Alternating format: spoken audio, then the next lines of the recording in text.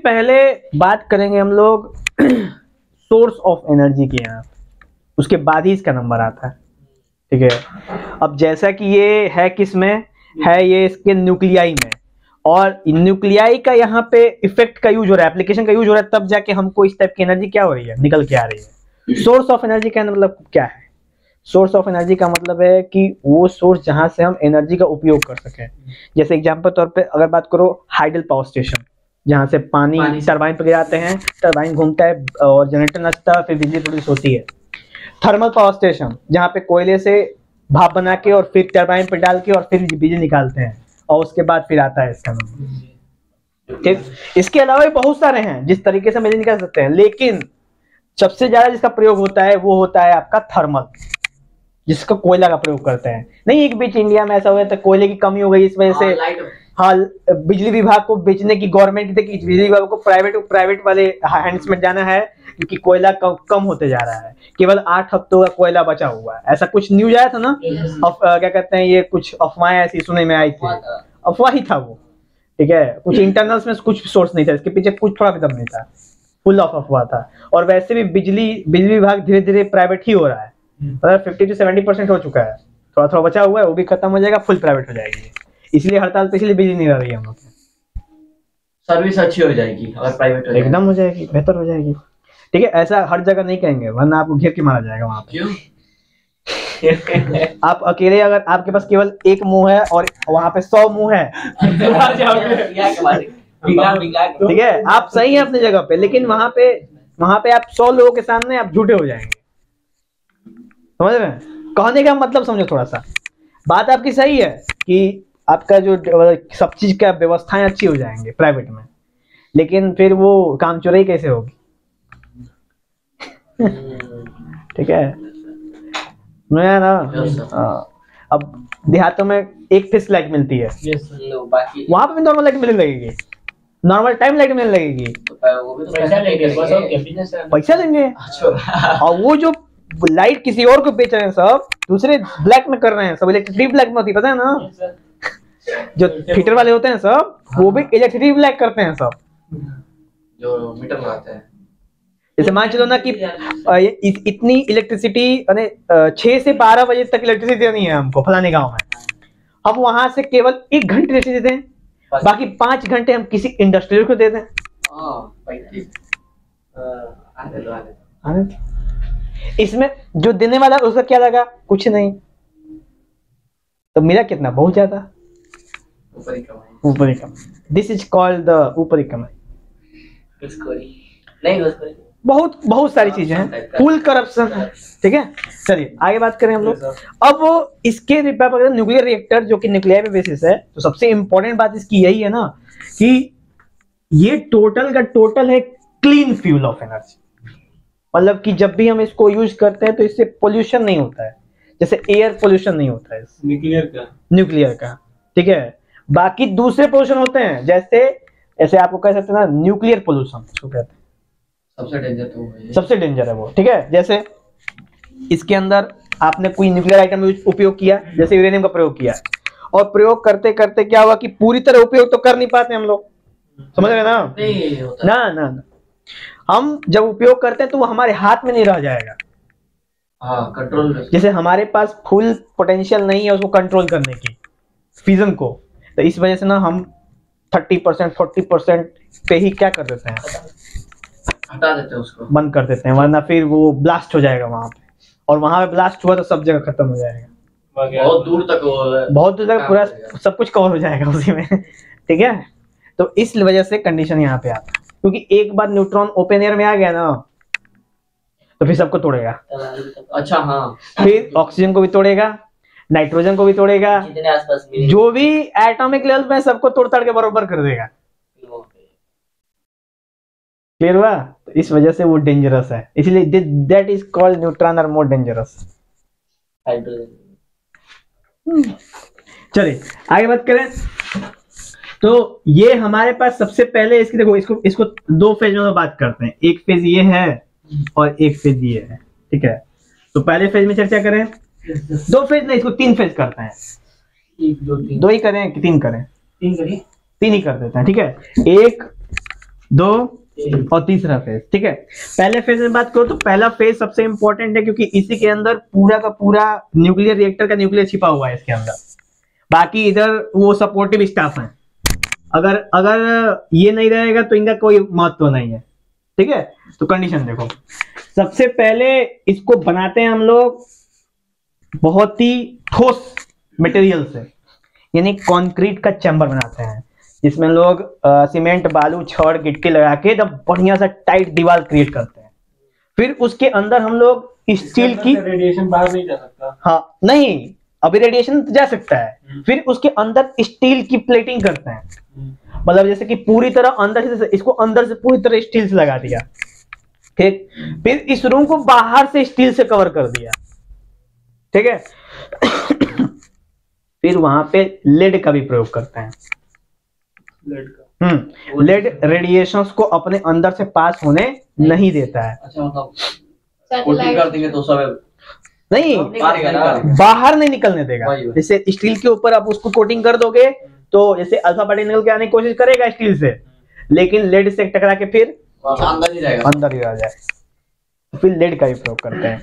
तो ऐसे बनता है हमारा कॉन्क्रीट चैम्बर एक बार जब चैम्बर क्रिएट हो जाएगा, उसके अंदर कई सारे कंपार्टमेंट होते हैं, ठीक है? उन कंपार्टमेंट जो सबसे central compartment core compartment कहते हैं, उसको कहते हैं लोग फ्यूजन चैम्बर जहाँ पे मेनली फ्यूजन अकर करता है, ठीक है?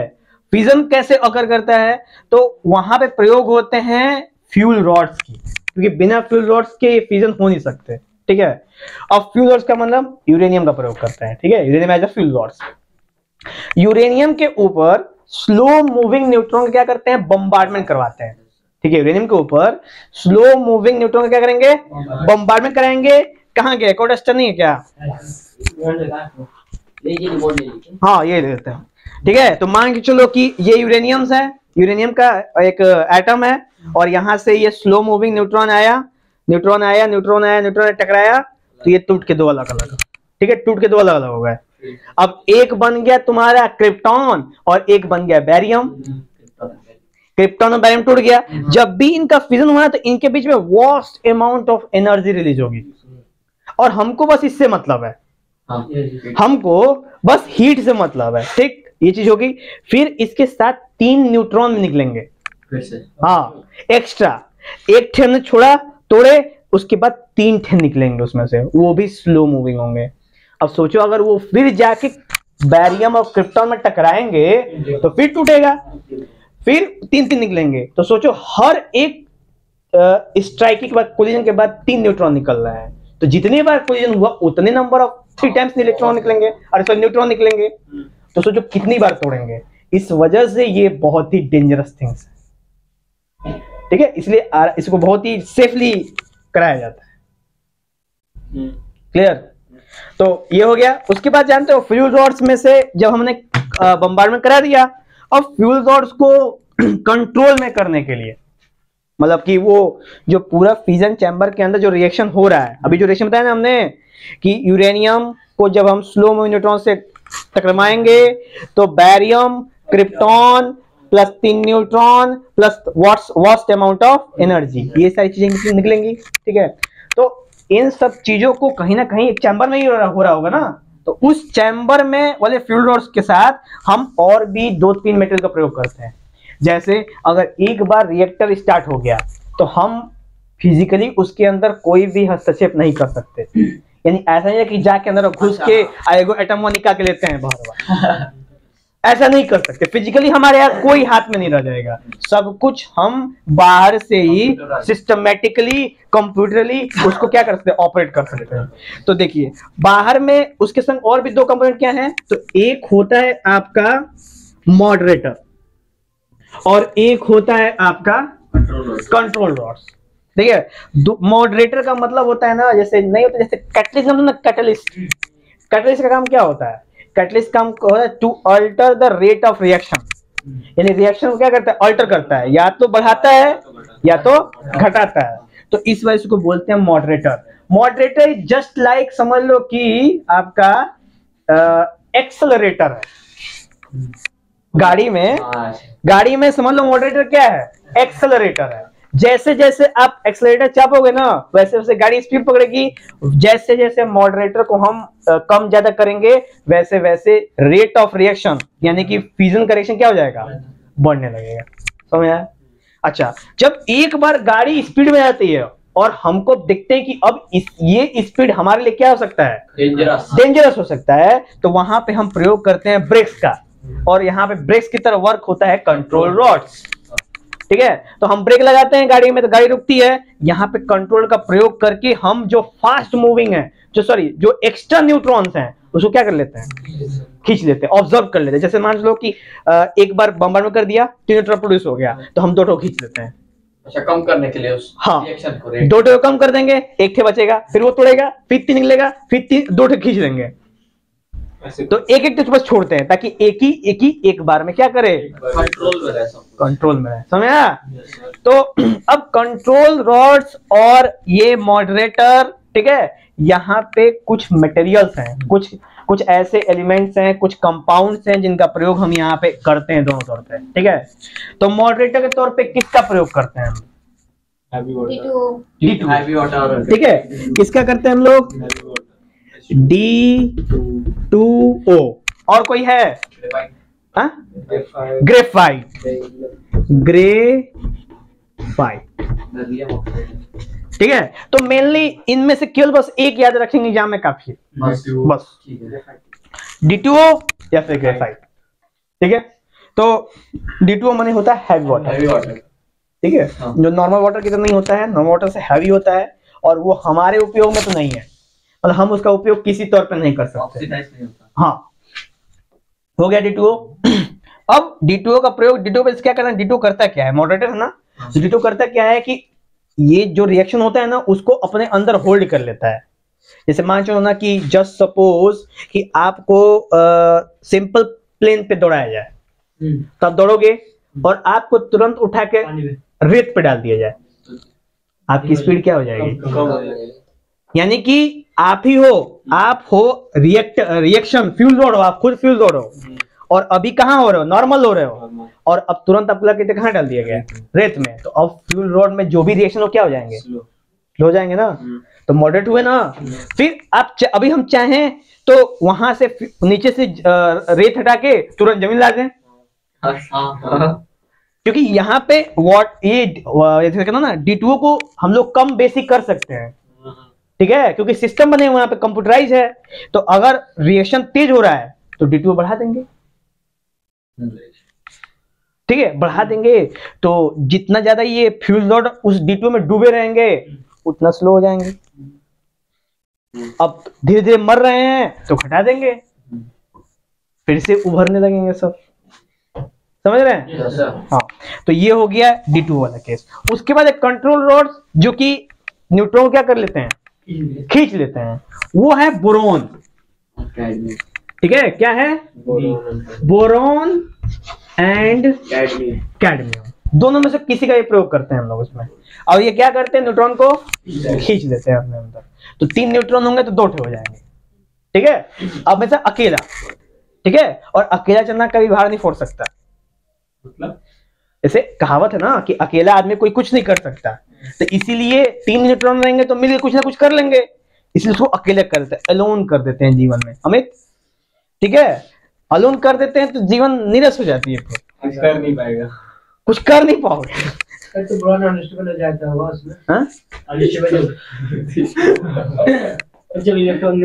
ज़्यादा हो जाएगा उसमें। हाँ हाँ। ज़्यादा हो जाएगा मतलब कम हो जाएगा। हाँ न्यूट्रॉन ज़्यादा हो जाएगा तो ज़्यादा लोग को जाके तोड़ेगा। समझ रहे हो ना? जैसे मान चलो कि हर जगह हर जगह कपल्स कपल्स चल रहे हैं। हम्म, समय आ ही रहा है सीज़न हम्म। और तीन दोस्त हैं। अब तीनों के पास कुछ नहीं है। तो क्या करेंगे? दूसरे के बिगाड़ेंगे ना? खेल ना खेल फिर बिगाड़ा। है कि नहीं? नहीं तो तो तो। सब में करेगा ना? अच्छा। बोरान टूट के फिर बोरान पे करेगा। उसमें भी एनर्जी निकलता होगा? एकदम निकलेगा। कोई भी चीज़ टूटती है तो एनर्जी नहीं निकलती है। सोचो तुम्हारा भी टूटेगा तो एनर्जी नहीं निकलेगा। ब्रेकअप होते एनर्जी नहीं निकला। रुक जाओ पहले। बोलने दो उसको। ऐसे ही हो गया? ऐसे ही कट गया। इसका कट ना सब कटी पतंग हो गया हैं। अच्छा सर एक क्वेश्चन था। जैसे आप बोले वो ब्रेक की तरह काम करता है तो फिर जब बोरोन से बोरोन टकराएगा तो फिर एनर्जी रिलीज़ तो कम कैसे हुआ बोरोन से बोरोन अरे मतलब बोरोन देख आप बोले है ना कि एक न्यू, तीन न्यूट्रॉन निकलेगा ऊपर से डालेंगे तो दो न्यूट्रॉन खींच लेगा। आ, ये बोला कि बोरोन जब अंदर जाएगा तो फिर उसके ऊपर भी दो बोरॉन बम्बार्टमेंट होगा। तो फिर वो आगे बढ़ेगा तो एनर्जी रिलीज़ होगा। बोरोन पे क्यों बम्बार्टमेंट होगा? वही तो बोला है। तो ले रहा है तो वो कैसे बम्बार्टमेंट हो जाएगा अरे वही तो अच्छा ये वाली बात थी। हाँ। जानते हो आपने बोला ना हमने समझा बैरियम क्योंकि हमने ये बोला ना कि जब भी यूरेनियम टूटेगा तो बैरियम और क्रिप्टोन टूटेगा। और आपने बोला बोला तो मेरे दिमाग में बैरियम था। ठीक है तो मैंने बोला कि हाँ बैरियम भी क्या होगा? टूटेगा अच्छा क्लियर करो क्लियर करो क्लियर बोरॉन पे भाई अच्छा तो जो ब्रेक है उसी पे तुम ब्रेक लगा दोगे। बोरॉन ब्रेक है मतलब टूटा हुआ है वो। नहीं बोरॉन को फर्दर नहीं तोड़ा जा सकता। अच्छा जो अगर उसके पास उसकी वो प्रॉपर्टी नहीं है कि कोई भी एरो गरेगा ठुकरेगा के तोड़ जाए उसका रिलेशन क्यों? क्योंकि स्ट्रॉन्ग रिलेशन है। रिलेशन क्या खुद अकेला। देख। रीजन बताएँ। क्योंकि जो बोरॉन है ना उसका atomic number hydrogen helium lithium beryllium boron कब आता है? पाइप पाइप पे आता है ना? पाँच पे आएगा पाँच पे बोरॉन। एटॉमिक नंबर कम? एटॉमिक नंबर कम का मतलब अब सोचो बाइंडिंग एनर्जी ग्राफ पे जाओ। तब बाइंडिंग एनर्जी ग्राफ में कार्बन नीचे ही ना है। कार्बन नीचे तो क्या होगी? स्टेबिलिटी ज़्यादा होगी। तो इतना आसान नहीं कोई भी एरो गिरवा के तोड़ के चला जाएगा मतलब कार्बन से नीचे वाली जितने भी है उसको हम कंट्रोल रॉड की तरह यूज़ कर सकते हैं। नहीं सबका नहीं हाँ। प्रॉपर्टी की बात है। के अब, अब यहीं पे कार्बन ला दोगे ना कहेगा अच्छा न्यूट्रॉन समाज है ठीक है? तो और फिर कहेगा फिर कहेगा दूसरा अरे भैया बहुत गरीब है ले जो हैं। अरे वो कुछ भी कर सकता है। एक्सेप्ट भी कर सकता है। अरे कार्बन शेयर करता है ना। दोनों काम करता है ना? दोनों काम करता है वो। तो इधर से कहेगा इसी की तरह दुकान की तरह नशा छुड़ाओ नशा करो। आगे से कहेगा ले जा ले जा चल दे समझ गए? तो प्रॉपर्टी प्रॉपर्टी का उपयोग की बात है। अब वही वही वाला प्रॉपर्टी कैडमियम भी शो करता है। बोरोन प्रॉपर्टी कितनी cadmium is pentavalent pentavalent nitrogen की फैमिली से बिलोंग करता है कैडमियम कैडमियम करता है। कैडमियम की देखो तो पहले। जब कैडमियम होगा तो सेमीकंडक्टर में। दिख ही जाएगा। देखो थोड़ा सा कैडमियम परसेंट सर्च में ले गूगल पे। सुनाओ। देख ले भाई। 21 से 30 के बीच में आता है। कैडमियम इक्कीस से तीस के बीच में। तो नहीं हो हाँ सर नहीं हो? उसमें नहीं आता सर इसमें नहीं आता। देखो स्कैंडियम वेनेडियम और उसके बाद हमको भी याद नहीं वाह सर ज़रूरत पड़ती तो पता चले देखो अब स्कैंडियम अरे कैडमियम बोला ना कैडमियम नहीं है वहाँ पे गारंटी बता रहा हूँ क्योंकि इतना तो पता है कि कैडमियम नहीं है वहाँ हाँ क्रोमियम है। क्रोमियम है जिंक है कॉपर है आयरन है निकल है कोबाल्ट है ये लाइन में है इसी लाइन में। में वो तो नहीं है कैडमियम नहीं है। कोई बात नहीं इसे बहुत ज़्यादा डील नहीं करना है। कैडमियम इज़ मेटल इतना गौर करो। हाँ cadmium metal and boron is also metal तो दोनों मेटल्स हैं। उसकी वैलेंसी कितनी है बोरॉन की? अरे नाइट्रोजन की फैमिली से बिलोंग करता है ना बोरॉन हाँ। हाँ। तो बोरोन की वैलेंसी मम्मी का फ़ोन 3 फोम हाँ काट दो चलो ठीक है। है बंदे दो। तो अच्छा। क्या है ये? बोरॉन में कितना था? अरे पेंटावैलेंट है बोरोन तीन वैलेंसी है टू कमा फाइव तो नॉन मेटल फाइव कैसे हो जाएगा? अरे सॉरी हाँ two comma three two comma three एक में से माइनस करेगा तो फाइव ना होगा। तीन के लिए लूज करेगा वो रिबैलेंस अच्छा वीडियो का नाश कर दिया यू आर राइट समझ गए ड्रिल करेगा। तीन इलेक्ट्रॉन टू थ्री है ना? तो ये ये ये सॉरी मैं खुद सॉरी कर रहा हूँ। क्योंकि ये नाइट्रोजन फैमिली का नहीं है ये एल्युमिनियम फैमिली का है। यस सर एल्युमिनियम फैमिली का है ये। ठीक है? क्योंकि एल्युमिनियम फैमिली के आखिरी में क्या होता है? तीन होता है।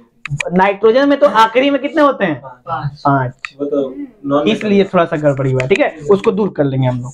क्लियर हुआ ये? तो boron is a metal cadmium is a metal इतना क्लियर है एकदम? कैडमियम भी ट्राई उसकी भी वैलेंसी 3 है ना? होगी ज़रूर जहाँ तक उम्मीद है। हमें दिमाग में नहीं। ठीक है ना? तो ये दोनों है। अब कंट्रोल और किसे प्रयोग होते हैं? सिंपल अभी भी कोई डाउट है इसके ऊपर तो बोल लो। बस इतना पता चलेगा कि दो न्यूट्रॉन अगर करेगा तो एब्जॉर्ब कर लेगा उसके ऊपर कोई इम्पैक्ट जैसे जैसे कहना कि ये वाले ये कठपुतली हैं अपने हाथ में है जो बाहर साइंटिस्ट बैठे उनके हाथ में है जो रिसर्चर बैठे हैं सब। तीन तीन न्यूट्रॉन प्रोड्यूस हुआ तो देखा गया कि तीन न्यूट्रॉन में से दो को निकाल दो तो बस दो को ही निकालते हैं सब। तो ये ये एडजस्टेबल है। हाँ ये क्या है? एडजस्टेबल है। तीन प्रोड्यूस हुए तीनों ऐसे लाइंस जा रहे हैं दो को टप्पे उठा लीजिए सब। ये वो क्या हो गया? बच गया। तो अकेले जा रहा है वो। समझ गए? तो क्या होगा? गजब लड़का है भैया। ये बताओ तीनों जगह तो क्या होगा? अपना काम करेंगे तो कई को ब्रेक हो। कई को ब्रेक हो जाएगा कई को ब्रेकअप हो जाएगा वहाँ पे। बहुत सारे लोग रोने लगेंगे वहाँ पे की जगह पे। उन सबको कौन चुप कराएगा? साइनवाइज हर जगह अवेलेबल थोड़ी हो हाँ हर जगह उसका पाउडर तो अवेलेबल होगा। है है। एकदम। कहेगा पिछड़ा प्यार भुलाने के लिए ये वाला पाउडर है। पहले बजरंग दल फिर उसके बाद पाउडर अच्छा आप आप रहेंगे इसके ब्रांड है. ब्रांड एम्बेसडर एडवाइजर रहेंगे ना? नहीं ब्रांड में से क्या करें मार्केटिंग एडवाइजर यस सर आगे जा जाए। यस सर इस चैम्बर में किसी को दिक्कत? नहीं सर हम लोगों ने काफ़ी तोड़फोड़ कर लिया और vast amount of energy produce कर दिया। अब देखो ये जो यहाँ पे होता है ना ये वाला इस चैम्बर से इस देखो ये चैम्बर है ना ये चैम्बर एकदम लोहे की गेंद की तरह हॉट हो जाता है। कौन सा वाला? ये वाला। फिजन चैम्बर क्योंकि इसी के ना सब कांड हो रहा है ना। तो यहाँ पे होता है ना इसमें एक एक लिक्विड भरा होता है इसको बोलते हैं लिक्विड सोडियम लिक्विड सोडियम हाँ इसके अंदर क्या होता है? Liquid liquid sodium. जिसको कूलेंट के तौर पर प्रयोग करता है ठीक है? कूलेंट के कूलेंट का कई सारे काम होते हैं। मतलब कूल के अलावा भी अलग काम है। कूल का मतलब दो चीज़ें होती हैं। वहाँ से हीट को निकाल लेना। हाँ और दूसरा? यही है। जैसे कूलेंट का समझते हैं ठंडा करना। हाँ ठंडे करने का पीछे का राज क्या है वो दो तरह का वही बताया मैं। ऐसे कूलेंट में समझेंगे अरे कूल कूल ठंडा ठंडा। नहीं है। हाँ वो नहीं। हाँ हीट को। निकाल के वो कूल कर रहा है। टेम्परेचर इसलिए कूलेंट तो यहाँ पे ये लिक्विड सोडियम और लिक्विड सोडियम एकदम गर्म हो जाएगा। एकदम रेड हॉट ठीक है? फिर यहाँ से यहाँ से क्या? ना यहाँ से। ठीक है यहाँ से मतलब कि कूलेंट से होते हुए ये जो पाइप से होते हुए आएगा पूरा एकदम ढकचिकी और यहाँ से पास होगा। अब ये जो ये जो चैम्बर है ना ये फ़ेज़ टू में आते हैं हम लोग फ़ेज़ वन कंप्लीट हो गया। फ़ेज़ टू में आएँगे ये चैम्बर में पानी भरा हुआ है ठीक है नॉर्मल पानी। ठीक है? और नॉर्मल पानी के से जब ये पाइप होके से गुजरेगी ना तो वो पाइप के कंटेंट में पानी का पानी है और ये जो कूलेंट है। ना ये जो कूलेंट जो बहुत हॉट है ठीक है? तो वो सारा का सारा रेडिए सारा का सारा जो हीट है वो पा, पानी को क्या कर देगा? ट्रांसफ़र ट्रांसफ़र करेगा। ट्रांसफ़र करेगा तो पानी हो जाएगा उबलने लगेगा। और उबलने का मतलब अपने बॉइलिंग पॉइंट से भी हाई जाने लगेगा। और जब जाएगा तो क्या क्रिएट होगा? स्टेम वेपर वेपर क्रिएट होगा? देखो यहाँ पे वेपर क्रिएट होगा। होगा ना यहाँ पे? यहाँ पे ऐसे वेपर क्रिएट हो जाएगा। और फिर ये लिक्विड जो कूलेंट है मतलब जो लिक्विड सोडियम है वो ऐसे से होते हुए अब जो इतने दूर तक पानी से पास करेगा ना तो खुद ब खुद वो हीट जितना होना चाहिए था उससे क्या हो जाएगा। टेम्परेचर क्या हो हो जाएगा। डाउन हो जाएगा टेम्परेचर अब देखो यहाँ से फिर ये सोडियम कूलेंट जो होते पंप के रास्ते पंप करके फिर इसके अंदर क्या हो जाएगा? आ जाएगा। इस पंप मतलब फिर ये, फिर गर्म होगा? फिर गर्म होगा? समझ? आया तो ये जब तक चलता रहेगा, तब तक ये गरम गरम खेलते रहेंगे ठीक है? तो ये पार्ट समझ में आप ये फ़र्स्ट फ़ेज़ हो गया इसमें। सेकेंड फ़ेज़ में जब ये पानी गर्म हुआ और भाप बना तो भाप बन के यहाँ से निकलेगा आउट होके। ठीक है? यहाँ से आउट हुआ और यहीं पे क्रिएट करते हैं हम लोग प्रेशर ठीक है? तो यहाँ पे एक पंप डाल देते हैं हम लोग। पंप नहीं है तो कोई बात नहीं है टेंशन नहीं लेंगे ठीक है? यहाँ पे पंप डाल दो क्योंकि टरबाइन के ऊपर प्रेशर के साथ छोड़ा जाता है ऐसे छोड़ेंगे क्योंकि ऐसे छोड़ ऐसे छोड़ेंगे तो वेपर की क्या औकात है? तो हवा है। हवा है निकल जाएगी साइड से ठीक है? तो यहाँ से प्रेशर के साथ जब छोड़ते हैं ना तो टर्बाइन में क्या करता है? नाचने लगता है इसे और जब नाचेगा तो उसके संग कनेक्ट होता है जनरेटरवा हम्म। ठीक है? वो भी नाचेगा। वो भी नाचेगा।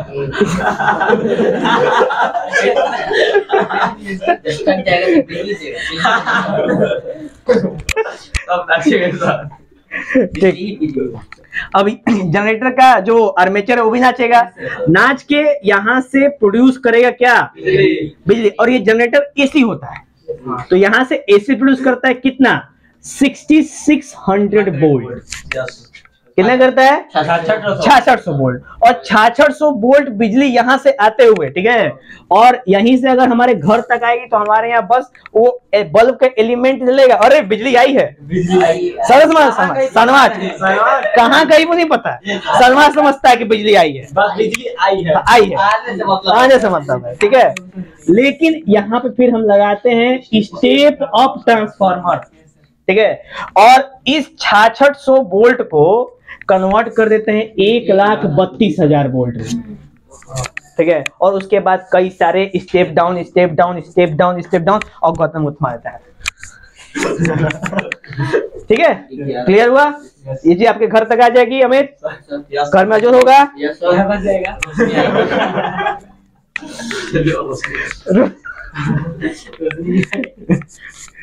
चलो ठीक। है अब देखो यहाँ से ये घुमा दिया। घुमाने के बाद ना जब जैसे घूमेगा तो इसका भी इस, स्टेम का भी टेम्परेचर हो जाएगा डाउन और जब डाउन होगा तो कन्वर्ट हो जाएगा वेपर से पानी यानी कंडेंसेशन हो गया।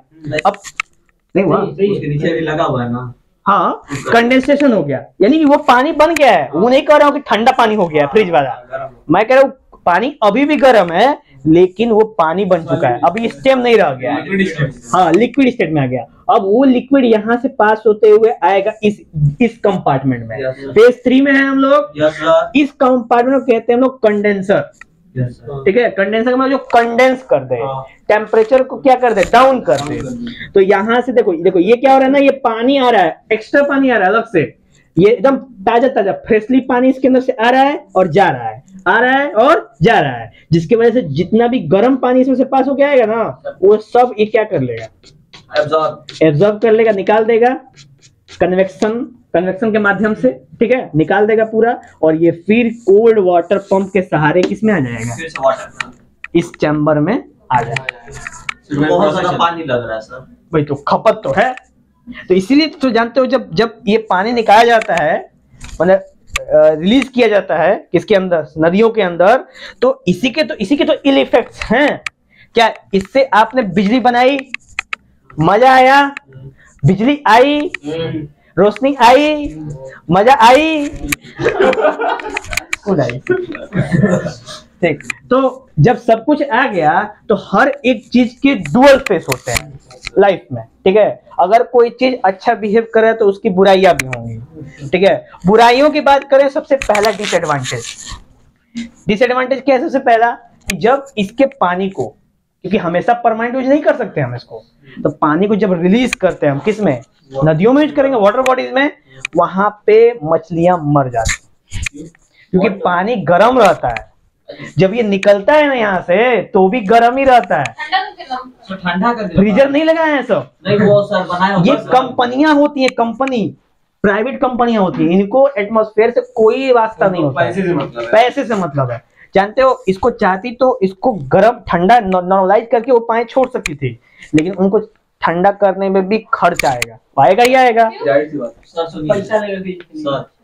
कौन से सर चिमनी बना के ऊपर से है। हैं। लगेगा ठंडा करने में बड़ी बड़ी चिमनियाँ बना के उसके ऊपर से पानी गिराते हैं जो हॉट वाटर होता है हम्म। उसको ठंडा करते हैं मतलब हम सुने नहीं चिमनी बना के हाँ। ऊपर से हॉट वाटर गिराते हैं हाँ। जब आता है तो नीचे ठंडा रहता है तब बात सही है आपकी लेकिन इसका उपयोग नहीं करते नहीं कर सकते कोई नहीं करता है प्राइवेट में तो कोई नहीं करता के लिए। सब खाली बस प्रोटोकॉल्स को थोड़ा थोड़ा फॉलो करते हैं ऊपर इंडिया में तो घंटा नहीं कोई करता है ऑन पेपर तुमको मिल जाएगा हाँ ऑन पेपर तब मिल जाएगा। हाँ। कि हाँ ये ये सब चीज़ है ऐसा लिखेंगे वाटर का लॉस होता है देखो वाटर का loss in the form of vapour होगा। प्लस इसकी जीवनी शक्ति खत्म होती है। लाइफ लाइफ जिसको कहते हैं लाइफ पावर वाटर का। Water is a living thing क्योंकि जैसे जानते हो हम लोग किस चीज़ से बने हमको मानना है according to our philosophy and some Vedic mythologies हमारी जो पूरे के पूरे शरीर है वो पंच तत्वों से बना हुआ है ठीक है? अग्नि पावक जल गगन समीरा अब पंच तत्वों से बना शरीर यही बनाया है ना पाँच तत्व। अब जब भी इन पाँच तत्वों के आप कांटेक्ट में आएँगे ना आप हमेशा एनर्जेटिक फील करेंगे। कभी भी ट्राई करना आप।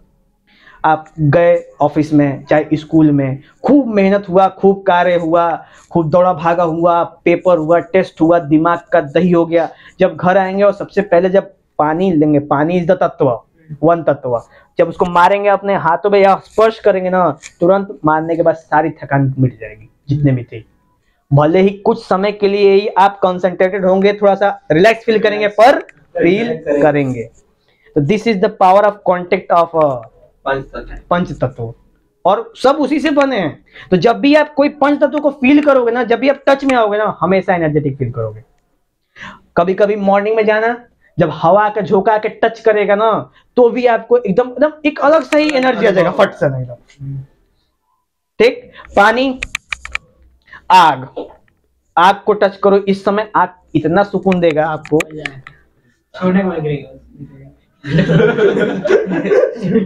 हर जगह। अरे किसी को तो छोड़ो। अगियो का करने लगा। साहब सही बोले आज कलयुग के दाना कलयुग वाला कलयुग का दाना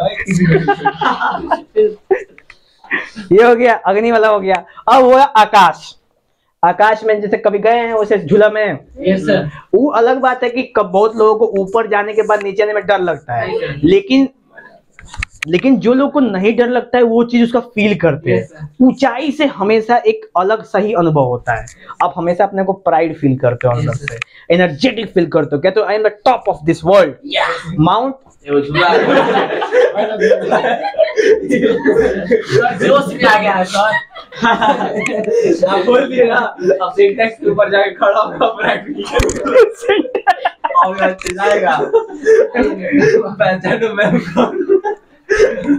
मम्मी नीचे उतर। नीचे होता तो बता रहे हो। कहेगा फील ले रहे थे? बता रहा है कौन हो। बताओ तुम इतने बड़े तुमको पता नहीं चला तुम कौन हो। अपने सामने मान ले लो।